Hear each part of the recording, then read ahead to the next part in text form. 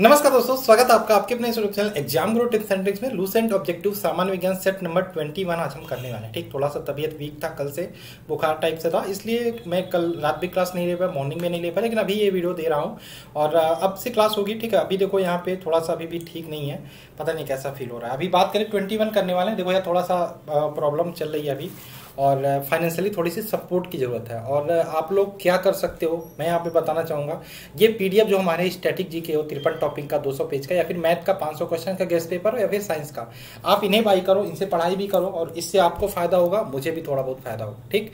तो link description में मिल जाएगी, या फिर अपलीकेशन पर आपको अवेलेबल आपको भी पता होगा, ठीक? स्टैटिक जीके की बात करें तिरपन टॉपिक दिया गया टोटल दो सौ पेज का है। स्टैटिक जीके का आप एप्लीकेशन पे जाके हमारा डेढ़ सौ रुपये में आप वीडियो कोर्स और पीडीएफ दोनों ले सकते हो। वो आपके लिए बेहतर होगा। इसके अलावा मैथ जिनका वीक है 500 क्वेश्चन का गेस्ट पेपर चौदह से पंद्रह क्वेश्चन आपके यहाँ से फंसने वाले हैं। ठीक? नंबर चेंज हो सकते हैं, लेकिन प्रश्न इसी टाइप के रहेंगे। इसके अलावा साइंस की पीडीएफ है, ये भी आपके लिए पढ़ना ज़रूरी है। लूसेंट और रुकमनी अगर जो अभी पढ़ रहे हो, ठीक? चलिए। शुरू करते हैं। टेलीग्राम ग्रुप आप सब ज़रूर ज्वाइन कर लेना पीडीएफ क्योंकि जो भी क्लासेस चलती हैं पीडीएफ आपको यही टेलीग्राम ग्रुप में मिलती है, ठीक? पहला प्रश्न आपके सामने स्क्रीन पर है। परमाणु के नाभिक में क्या होते हैं? देखो, परमाणु के नाभिक की बात करें, कोई भी एटम की बात करें, ठीक है, परमाणु के नाभिक की बात करें, उसमें आपका इलेक्ट्रॉन होते हैं और प्रोटॉन होते हैं। इलेक्ट्रॉन, प्रोटॉन होते हैं। सॉरी, माफ़ कीजिएगा माफ़ कीजिएगा।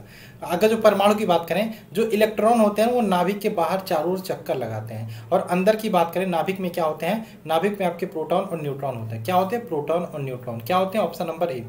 Option number A इसका राइट आंसर का प्रोटॉन और न्यूट्रॉन इलेक्ट्रॉन कहाँ होते हैं? इलेक्ट्रॉन नाभिक के बाहर चक्कर लगाते हैं, ठीक? चलिए। प्रोटॉन की खोज किसने की थी? गोल्ड स्टीन आता है कहीं कहीं रदरफोर्ड आता है, ठीक है? ध्यान रखिएगा। न्यूट्रॉन की खोज किसने की थी? चैडविक ने की थी, ठीक? अगर जो बात करें इलेक्ट्रॉन की खोज कितनी थी? जे जे थॉमसन ने, ठीक? चलिए, आगे चले क्वेश्चन नंबर दो की बात करें। न्यूट्रॉन की खोज किसने की थी? भाई, इसका आंसर बताओ, अभी मैंने बताया न्यूट्रॉन की खोज की थी किसने? चैडविक ने। चैडविक ने न्यूट्रॉन की खोज की थी option number B question number three की बात करें थ्री क्या है? निम्न में अस्थायी कण कौन सा है? तो ऑप्शन है प्रोटॉन इलेक्ट्रॉन न्यूट्रॉन अल्फ़ा कण। क्या आंसर होगा? अस्थायी कण की बात हो रही है तो इसका आंसर क्या होगा? अस्थायी कण कौन सा है? तो इसमें जो आपका न्यूट्रॉन है ना न्यूट्रॉन आपका अस्थायी कण है option number C right answer होगा। चलिए क्वेश्चन नंबर फोर की बात कर ले। फोर क्या है? फोर है जिस तत्व के परमाणु में दो प्रोटॉन दो न्यूट्रॉन और दो इलेक्ट्रॉन हो, उस तत्व का द्रव्यमान संख्या क्या होगा? देखो, दो प्रोटॉन, दो न्यूट्रॉन और दो इलेक्ट्रॉन होंगे तो वहाँ पे क्या होगा? आपका द्रव्यमान संख्या चार होगा। ऑप्शन नंबर इसका बी राइट आंसर होगा। नेक्स्ट क्वेश्चन की बात करें, क्वेश्चन नंबर फाइव। फाइव क्या है? नाभिक का आकार कितना होता है? तो नाभिक का आकार जब भी पूछे टेन टू दावर मीटर में पूछे तो ten to the power minus पंद्रह मीटर होता है। ऑप्शन नंबर इसका डी राइट आंसर होगा, नाभिक का आकार। क्वेश्चन नंबर सिक्स की बात करें, पॉजिटॉन की खोज किसने की थी? पॉजिट्रॉन की खोज की बात करें, किसने की थी भाई? पॉजिट्रॉन की खोज की थी एंडरसन ने, option number D right answer होगा। क्वेश्चन नंबर सात की बात करें, हाइड्रोजन परमाणु के न्यूक्लियस में प्रोटॉनों की संख्या ज्ञात करना है। क्या ज्ञात करना है? हाइड्रोजन परमाणु के न्यूक्लियस में प्रोटॉनों की संख्या। तो हाइड्रोजन परमाणु के न्यूक्लियस में प्रोटॉनों की संख्या की बात करें, कितनी होती है भाई?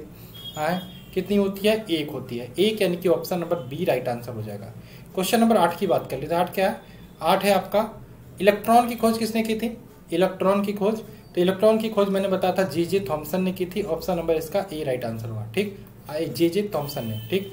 नेक्स्ट बात करें क्वेश्चन नंबर रदरफोर्ड ने किसकी खोज की थी? रदरफोर्ड की बात करें प्रोटॉन की खोज की थी, है? गलीलियो ने किसकी खोज की थी? गलीलियो ने। ये आप कमेंट करके बताइएगा जेम्स वाट ने किसकी खोज की थी? कमेंट करके बताइएगा थॉमसन मैंने बता ही दिया, ठीक? गलीलियो वाला, और ये आपको बताया, बहुत ही अच्छा बहुत ही सिंपल है, बहुत इंपॉर्टेंट भी है, पूछा जाता है एग्ज़ाम में। गलीलियो ने किसकी खोज की थी? और जेम्स वाट ने। बहुत इंपॉर्टेंट है दोनों। इसलिए मैं बोल रहा हूँ कमेंट करके आप बताना ज़रूर, इसकी खोज किसने की थी? क्वेश्चन नंबर आपका ये थॉमसन वाला मैंने बता दिया ना थॉमसन ने किसकी खोज की? इलेक्ट्रॉन की। रदरफोर्ड ने प्रोटॉन की। ठीक है, ये दोनों टॉपिक से बाहर, इसलिए आप बताना जेम्स वाट ने किसकी खोज की थी? गैलीलियो ने किसकी खोज की थी? क्वेश्चन नंबर नौ की बात करें, किसी तत्व की परमाणु संख्या कितनी होती है? किसी तत्व की परमाणु संख्या की बात करें, वो कितनी होती है? वो नाभिक में प्रोटॉन की संख्या के बराबर होती है। तो परमाणु संख्या कितनी होती है? नाभिक में प्रोटॉन की संख्या जो होती है, वही आपका परमाणु संख्या होती है। Option number C right answer होगा। क्वेश्चन नंबर बात करें दस। दस क्या है? परमाणु में प्रोटॉन कहाँ रहते हैं? तो प्रोटॉन कहाँ रहते हैं? प्रोटॉन और न्यूट्रॉन की बात करें, ये नाभिक के भीतर रहते हैं। तो नाभिक के भीतर आपका हो जाएगा option number A right answer होगा। ग्यारह की बात करें, ग्यारह क्या है? ग्यारह आपका इलेक्ट्रॉन वहन करता किसका वहन करता क्या वहन करता तो इलेक्ट्रॉन पे किसका, क्या आवेश होता किस प्रकार का? तो इलेक्ट्रॉन पे आपका इस प्रकार से होता ना तो इलेक्ट्रॉन पे एक ऋण आवेश होता। क्या? एक यूनिट ऋण आवेश। Option number A right answer होगा। चौदह की बात करें, चौदह क्या है? बारह। बारह की बात करें, समस्थानिक परमाणु में क्या समान होता है? समस्थानिक परमाणुओं की जब भी बात हो तो ध्यान रखिएगा, समस्थानिक परमाणु परमाणु में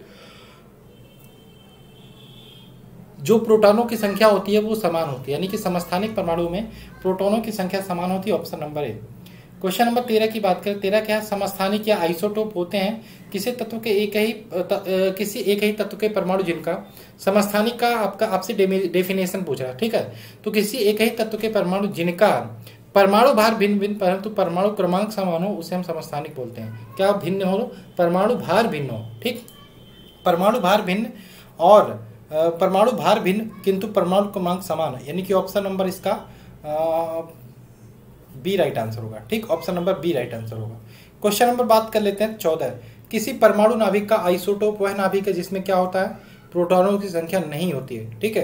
प्रोटॉनों की संख्या वही होती है, परंतु न्यूट्रॉनों की संख्या भिन्न होती है। ध्यान रखिएगा, किसी परमाणु के नाभिक का आइसोटोप वह नाभिक है जिसमें प्रोटॉनों की संख्या वही होती है, जो परंतु न्यूट्रॉनों की संख्या भिन्न होती है, यानी कि option number B right answer होगा। क्वेश्चन नंबर पंद्रह की बात करें, पंद्रह क्या है? पंद्रह है आपका ऐसे दो तत्व जिनमें इलेक्ट्रॉनों की संख्या भिन्न भिन्न हो, परंतु जिनकी द्रव्यमान संख्या समान हो, क्या कहलाती है? तो ऐसे दो तत्व जिनमें इलेक्ट्रॉनों की संख्या समान, भिन्न समान सॉरी इलेक्ट्रॉनों की संख्या भिन्न भिन्न हो, परंतु जिनकी द्रव्यमान संख्या समान हो, उसको क्या बोलते हैं? उसको हम बोलते हैं आपका संभारिक। क्या बोलते हैं? संभारिक। ठीक? Option number B right answer होगा। क्वेश्चन नंबर बात करें नेक्स्ट हमारा। नेक्स्ट है सोलह नंबर क्वेश्चन सोलह क्या है?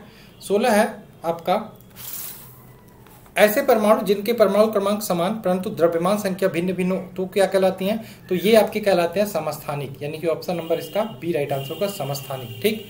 किसी तत्व का सर्वाधिक समस्थानिक होते हैं। किस तत्व का सर्वाधिक समस्थानिक होता है? तो इसका आंसर ध्यान रखेगा किस तत्व का सर्वाधिक समस्थानिक होता है? तो ध्यान रखेगा पोलोनियम के। पोलोनियम में सर्वाधिक समस्थानिक होते हैं, ठीक? क्वेश्चन नंबर अट्ठारह की बात करें। परमाणु जिसमें प्रोटोनों की संख्या समान परंतु न्यूट्रॉनों की संख्या भिन्न भिन्न क्या कहलाती है? तो वह परमाणु जिसमें प्रोटॉनों की संख्या समान, परंतु न्यूट्रॉनों की संख्या भिन्न भिन्न वह कहलाती है आपका समस्थानिक। सॉरी हाँ समस्थानिक कहलाती है। ऑप्शन नंबर इसका डी राइट आंसर होगा। नेक्स्ट बात करें क्वेश्चन नंबर 19 एक भारी नाभिक के दो हल्के नाभिकों को नाभिक में टूटने की प्रक्रिया को क्या कहते हैं? एक भारी नाभिक के दो हल्के नाभिकों में टूटने की प्रक्रिया को बोलते हैं हम नाभिकीय विखंडन। नाभिकीय विखंडन यानी कि option number B right answer होगा। बीस की बात करें, परमाणु बम में निम्न सिद्धांत कार्य करता है। परमाणु बम निम्न से किस सिद्धांत पर कार्य करता है? तो परमाणु बम की बात करें, नाभिकीय विखंडन सिद्धांत पर कार्य करता है। Option number B, right answer होगा। क्वेश्चन नंबर इक्कीस की बात करें, हाइड्रोजन बम किस सिद्धांत पर आधारित है? तो हाइड्रोजन बम की बात करें, ये नाभिकीय संलयन सिद्धांत पर आधारित है। Option number A.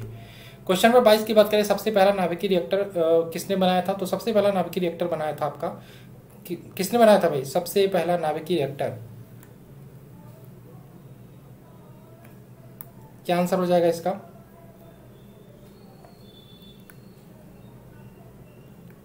सबसे पहला नाभिकीय रिएक्टर बनाया था। इसका आंसर क्या होगा बताना कमेंट करके।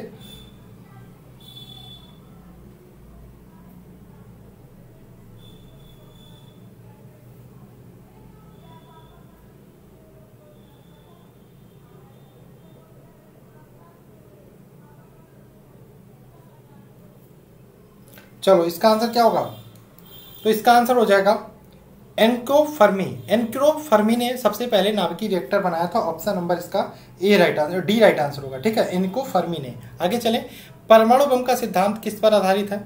परमाणु बम का सिद्धांत किस पर आधारित है? तो परमाणु बम का सिद्धांत की बात करें, ये नाभिकीय संलयन, नाभिकीय विखंडन, यानी कि यहाँ पे बात करें, उपयुक्त सभी ऑप्शन नंबर उपयुक्त सी इसका राइट आंसर उपयुक्त दोनों सिद्धांत पर आधारित होता है। चौबीस की बात करें सर्व प्राचीन सेल समूह की आयु किससे आकी जाती है? सर्व प्राचीन सेल समूह की आ, जो आयु होती है वो किससे नापी जाती है? तो ध्यान रखिएगा के ए आर विधि से ऑप्शन नंबर ए इसका राइट आंसर होगा के ए आर विधि से। क्वेश्चन नंबर 25 की बात करें रेडियो सक्रिय पदार्थ उत्सर्जित करता है। कौन रेडियो सक्रिय पदार्थ उत्सर्जित करता है? तो इसका आंसर क्या हो जाएगा? इसका आंसर हो जाएगा आपका बीटा कण बीटा किड़े जो होती हैं वो रेडियो सक्रिय पदार्थ उत्सर्जित करती हैं।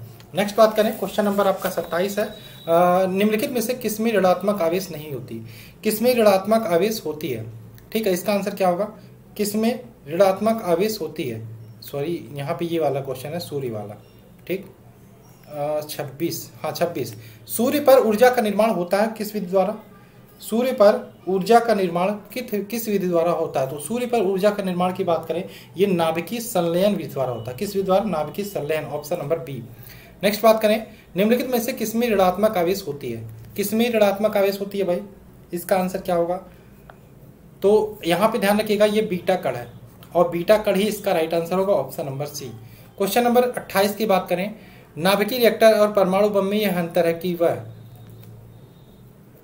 नाभिकीय रिएक्टर और परमाणु बम में अंतर क्या होती है? तो ध्यान रखिएगा, नाभिकीय रिएक्टर जो होती है ना, वो श्रृंखलिया अपक्रिया पर नियंत्रित होती है, ठीक? यही आपका अंतर है option number B right answer होगा। क्वेश्चन नंबर उनतीस की बात करें, नाभिकीय रिएक्टर के निर्माण में निम्नलिखित में से कौन सा एक अनिवार्य है? तो क्या अनिवार्य है? जर्कोनियम। ऑप्शन नंबर इसका सी राइट आंसर होगा। क्वेश्चन नंबर तीस की बात करें, अल्फ़ा कण के दो इकाई धनावेश होते हैं। इनका द्रव्यमान लगभग किसके बराबर होता है? तो ध्यान रखिएगा, अल्फ़ा कण के दो इकाई धनावेश होते हैं और इनके द्रव्यमान की बात करें, किसके बराबर होता है? तो इनका जो द्रव्यमान होता है ना, हीलियम के एक हीलियम के एक परमाणु के बराबर होते हैं। आगे चलें ऑप्शन नंबर इसका बी राइट आंसर होगा। नेक्स्ट बात करें क्वेश्चन नंबर इकतीस कोबाल सिक्सटी आमतौर पर विकिरण चिकित्सा में प्रयोग होता है, क्योंकि यह उत्सर्जित करता क्या उत्सर्जित करता कोबाल सिक्सटीन यह उत्सर्जित करता है गामा रेज, गामा किरणे यानी कि option number C right answer होगा। बत्तीस की बात करें, नाभिकीय रिएक्टर में न्यूट्रॉन नियंत्रक के रूप में निम्नलिखित में से क्या प्रयोग किया जाता है? तो नाभिकीय रिएक्टर में न्यूट्रॉन नियंत्रक के रूप में प्रयोग किया जाता है किसका? कैडमियम का।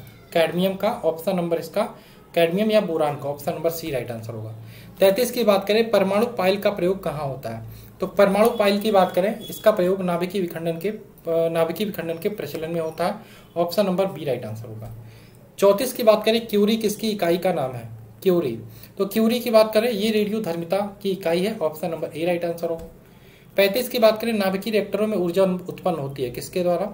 तो नाभिकीय रिएक्टरों में ऊर्जा उत्पन्न होती है नियंत्रित विखंडन द्वारा। नियंत्रित विखंडन द्वारा, यानी कि ऑप्शन नंबर सी छत्तीस की बात करें, नाभिकीय संलयन को ताप नाभिकीय अभिक्रिया भी कहा क्यों कहते हैं? नाभिकीय संलयन को ताप नाभिकीय अभिक्रिया भी क्यों कहते हैं? तो इसका आंसर क्या हो जाएगा? क्योंकि संलयन में काफ़ी उष्मा पैदा होती है, क्योंकि संलयन में काफ़ी उष्मा पैदा होती है, इसलिए नाभिकीय संलयन को ताप नाभिकीय अभिक्रिया भी कहते हैं। सैंतीस की बात करें, रेडियो कार्बन डेटी से किसकी उम्र ज्ञात की, करने के लिए प्रयुक्त की जाती है? तो रेडियो कार्बन डेटिंग विधि से जीवाश्मों की आयु ज्ञात करने के लिए प्रयुक्त की जाती है। नेक्स्ट बात करें, परमाणु रिएक्टर क्या है? तो परमाणु रिएक्टर रिएक्टर की बात करें, एक प्रकार की आणविक भट्टी है option number D right answer होगा। उनतालीस की बात करें, पृथ्वी की आयु का निर्धारण निम्न में से किस विधि द्वारा किया जा सकता है?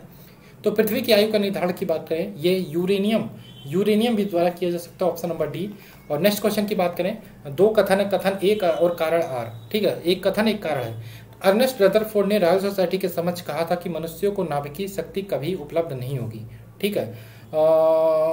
यहाँ पे ये सही है, ठीक? कारण की बात करें, उसे यह विश्वास था कि आइंस्टीन का नियम फेल हो जाएगा और मात्रा ऊर्जा में परिवर्तित नहीं होगी, ठीक?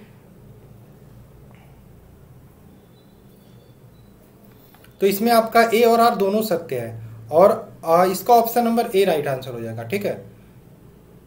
ऑप्शन नंबर ए इसका राइट आंसर हो जाएगा। चलिए, ये थे टोटल चालीस क्वेश्चन ये चालीस क्वेश्चन थे। इसी प्रकार से आपके एक, दो तीन यानी कि तीन क्लास और बचे हैं इसके बाद, ठीक है? गिन के तीन क्लास बचे हैं, यानी कि चौबीस क्लास तक आपका पूरा लूसेंट का फिजिक्स खत्म हो जाएगा, ठीक? उसके बाद हम लूसेंट की बायोलॉजी स्टार्ट कर देंगे। बने रहिए हमारे साथ रुकमनी वाली क्लास भी देखते रहिए, जिसमें दो क्लास बची है, एक से दो क्लास बची है, वो भी कल परसों में खत्म हो जाएगा और आपका उसके बाद हम आपका लूसेंट में बायोलॉजी और रुकमनी में आपका फिजिक्स स्टार्ट कर देंगे, ठीक? चलिए क्लास को लाइक करिए, अब थोड़ा सपोर्ट करिए, पीडीएफ वीडियो बाई करिए और क्या चाहिए मुझे?